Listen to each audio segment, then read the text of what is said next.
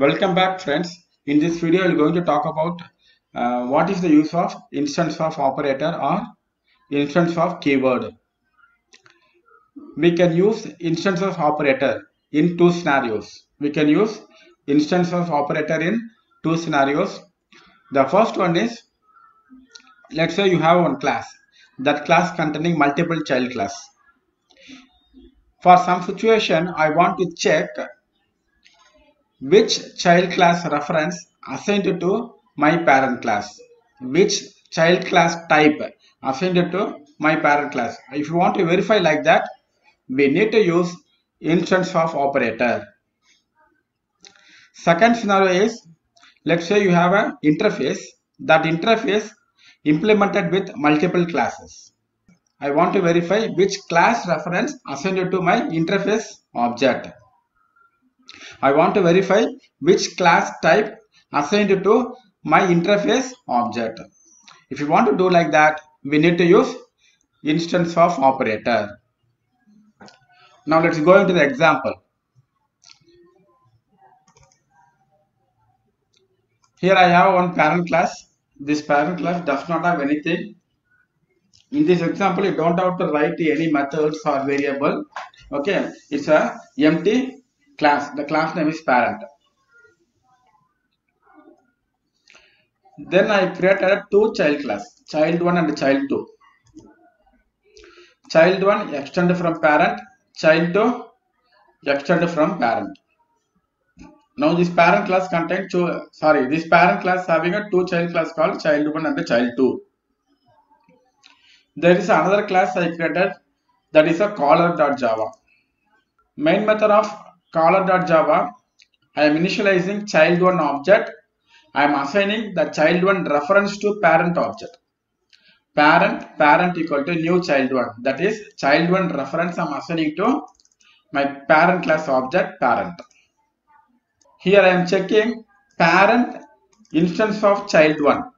That is if parent contain child1 reference. If parent contain child1 class type then come inside print this. What i am printing here? Parent is having child1 reference. Line number 13 i am doing. Line number 13 again i am initializing parent object using child2 that is parent equal to new child2 that meaning i am assigning child2 reference to my parent object parent. If parent instance of child2 that is come to if block print this statement. That's it. Now i'll go and run this program. According two this statement definitely parent is having child one. So definitely it will print. According to this statement definitely parent parent is having a child to reference. So this statement also will print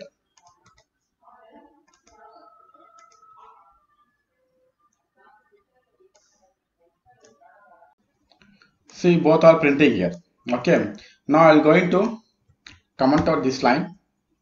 Now the second lines will not print because i'm not assigning child to reference to parent object. Okay.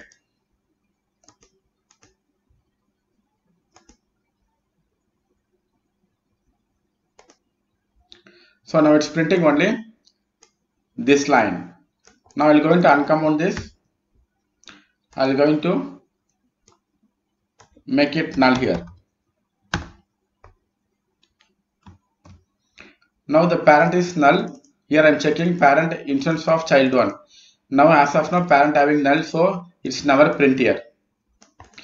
In this line I am initializing the parent using child 2 so parent is having child 2 reference. This line will print. Okay. Now again going to new child.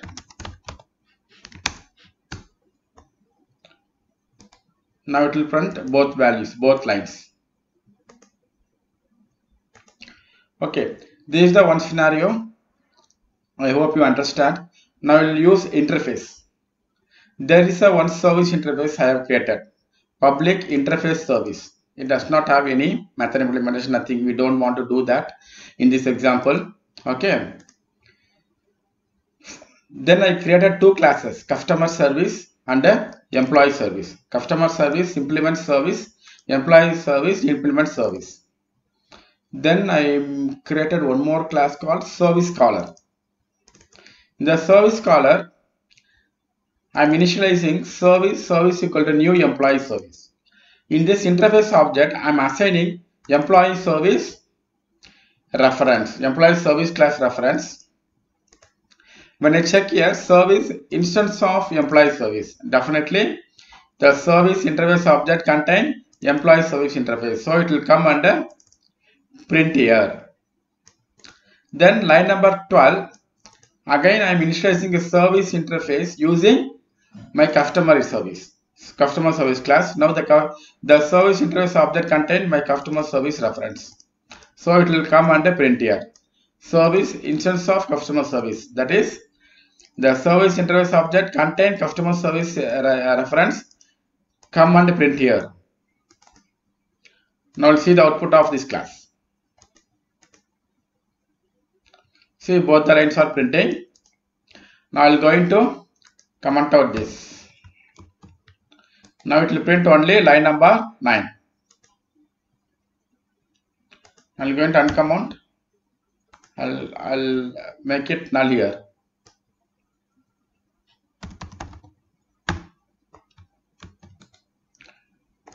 Now it will print only 14th 9. Okay. This is the use of uh, instance of operator or instance of keyword. If you have any questions, please comment me in the video description. In the next video, we're going to talk about some interesting topic. Until then, bye bye from Suresh. Please check all billing system related articles in following site www.pinepad.in slash blog or go to Java Technologies billing system. This is my site pinepad.in when you click blog it will return all java related technical articles. If you want if you want to see only specific to building system go to java technology click billing system this will return only billing system related articles okay please follow me on medium.com the reason i am saying is if you follow me on medium.com, you will be getting all notification. You will be getting notification if I post any articles in pinepad.in or medium.com. This is the link which is from pinepad.in. This particular post contains all YouTube links which related to billing system. Okay, I will show that. See billing system using Spring Boot, all YouTube video links updated here. This post contain all YouTube link that related to billing system. Okay. This information I have updated on YouTube description, on YouTube video description. Okay. Please check it out. Still not subscribe this channel. Please subscribe it Share this video to your friend circle. Click bell icon for regular updates. Thanks for watching this full video. Let's go into the video now.